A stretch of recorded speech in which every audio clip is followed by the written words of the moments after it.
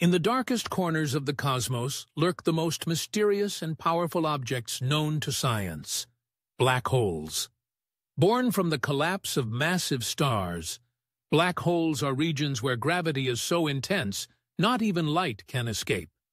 At their core lies a singularity, a point of infinite density, surrounded by the event horizon, the boundary beyond which nothing returns. Some black holes are the size of a city, others millions of times more massive than the Sun, anchoring entire galaxies, including our own.